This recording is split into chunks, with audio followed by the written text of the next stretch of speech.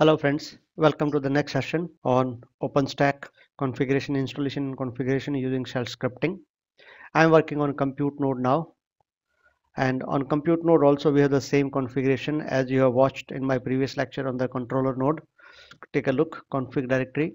Inside the config what we have is uh, more importantly this uh, config compute and uh, what else we need? Etc host multi this host multi will be used to configure the etc host file. Then we will use this controller cluster script. This is the sequence of cluster openstack so let's take a look at all the files one by one. Config compute. So what we have here is the ip address. The first ip address is management ip second ip address is the external ip third is the dhcp as i demonstrated in OpenStack you will see the release is Z the CirrOS image the management IP network and the provider network that is external network. All these things you can see here. So in the scripts what else we have? The credentials file will have all the users and databases. This is same. I have already explained this. So we'll go to the config file uh, sorry scripts. And here we have the file.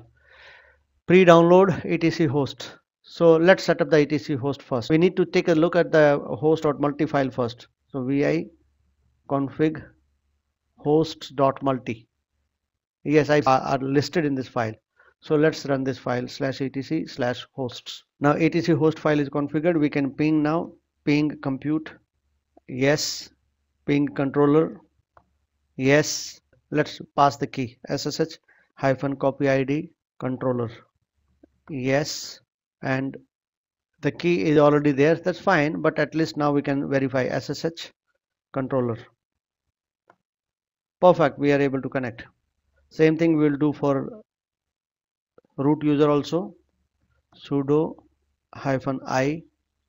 Now SSH hyphen copy id controller.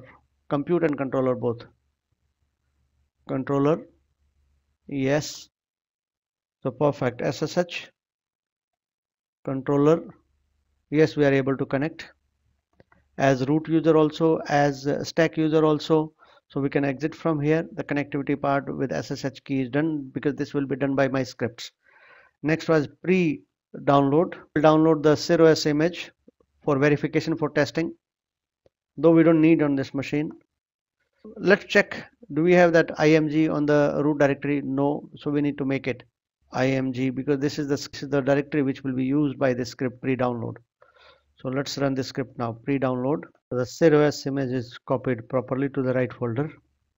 Let's go to the Ubuntu main directory for our rest of the work. All the scripts are set up in order. First it will initialize. Second it will upgrade. It will install OpenStack Cloud. Third it will set up Nova.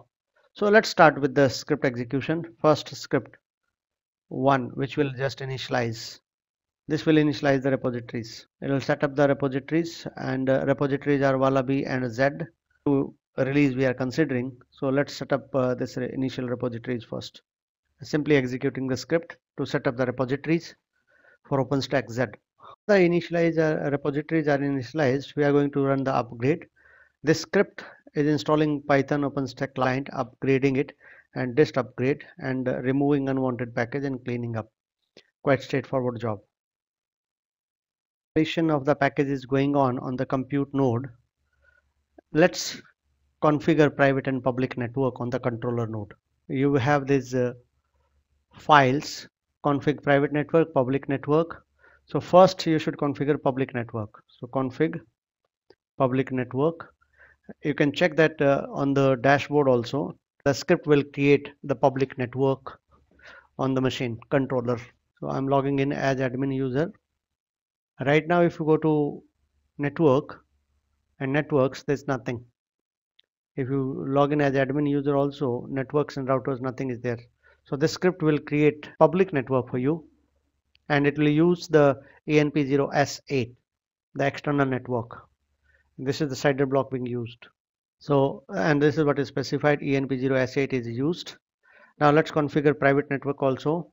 Config private network. So this will set up a private network and if you verify you will see the public network as the private network is being created so private network is already up provider network public network is already created and this is up right now router also this uh, will also create a router. You can see the router is, is active right now.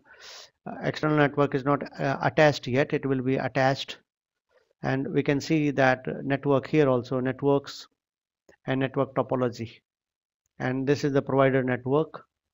So these this is being done by the script which is executing right now. So it is done. So what we have done is we have configured private and public network and we can verify the same thing here under again under network. You can see that networks. And you see the public network private network external yes status active and availability zone where they are available. So both the networks are created. So do one more step here. The step is passing the ssh key from controller to compute node. Ssh hyphen copy id compute. Yes this is done perfect. And we should do the same thing for root user also. Ssh hyphen copy id i'm just verifying the thing if it is not done. So it's not taking the password probably password is wrong. So let me check the permission and password on the compute node. Installation is complete after four attempts. Let's set, the, set up the password for root user. Pass wd perfect now I can exit from here and I can continue my key passing from the controller node to the compute node. Oh it was already closed. No problem. Done. SSH compute. I should be able to log in. Superb. I've done it.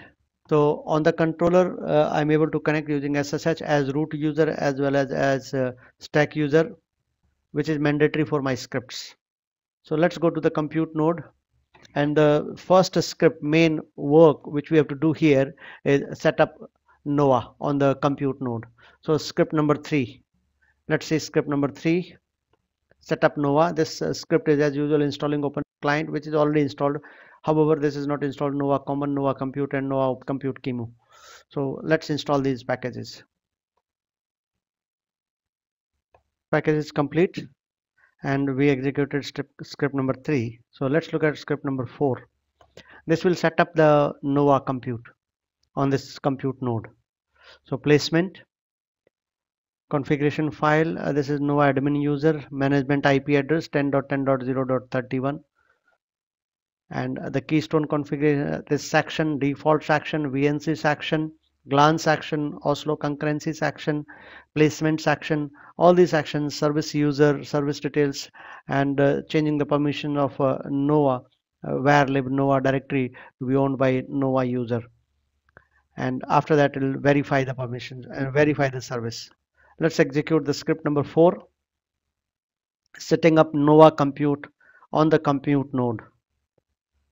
So Nova compute on controller, it is enabled and uh, Nova compute on controller it is verifying that where it is available and now it is setting up on the compute node as well. And now you can see it is available on the compute node as well. Perfect. Executed Nova compute 1 Nova compute 2 so what we have done in this session initializing the repository or installing OpenStack client and upgrading the packages setting up etc host file enabling key-based authentication and installing Nova Compute on the compute node. We can verify the same service. Let's verify and you will see Nova Compute is available. Two hypervisors are available. Compute, hypervisors and now you see compute and controller. Both hypervisors are enabled. So you can see that compute host, we have two compute hosts, uh, controller and compute both up. All right, that's all for this session. Thank you very much for watching.